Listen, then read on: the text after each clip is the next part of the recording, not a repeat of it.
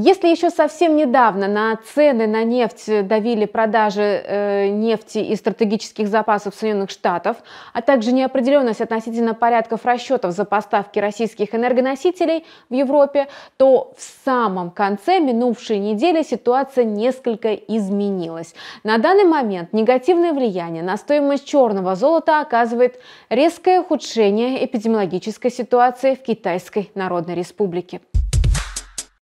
Крупнейший город Китая, Шанхай, полностью закрыт на карантин. Уже одного этого достаточно, чтобы участники рынка забеспокоились по поводу спроса на нефть, который, безусловно, сократится. Так что нет ничего удивительного в том, что стоимость черного золота постепенно идет вниз.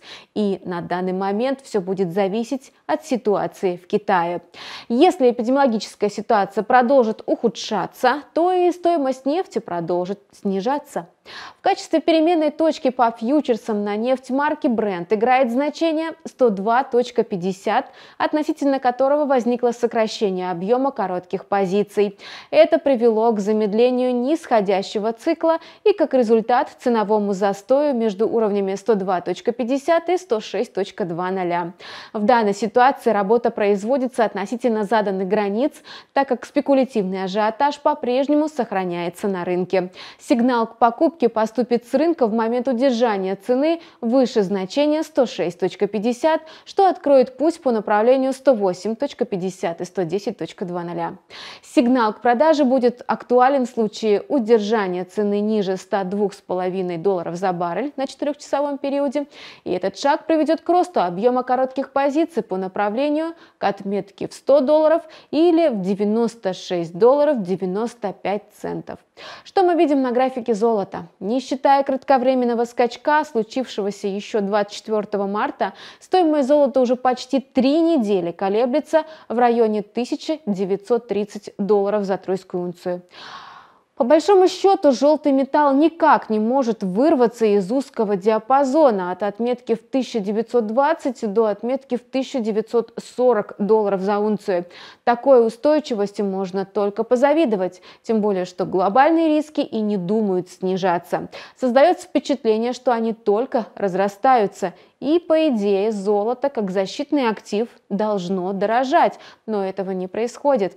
Судя по всему, это прямое отражение полной неопределенности, в которой находятся инвесторы, не понимающие, что именно происходит и что будет в дальнейшем, в том числе и в отношении золота. Не очень ясное настроение трейдеров на российском рынке.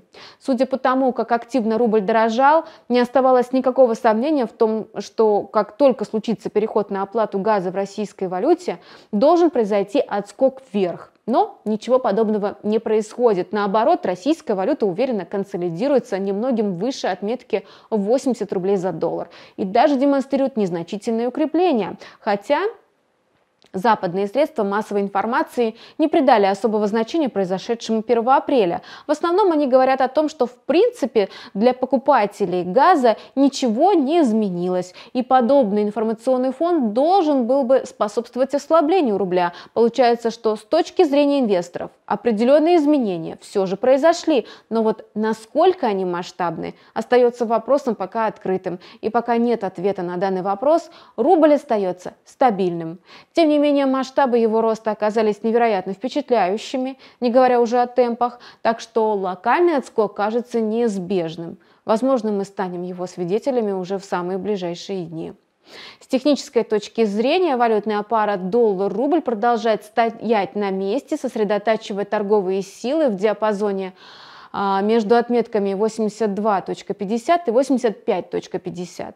Столь длительное движение цены в замкнутой амплитуде с высокой долей вероятности приведет к новым спекулятивным манипуляциям на рынке. А на этом у нас пока все. Мы продолжаем следить за развитием ситуации на финансовых рынках. Подписывайтесь на наш канал и будьте в курсе новостей вместе с нами. Увидимся через некоторое время на нашем канале. До встречи!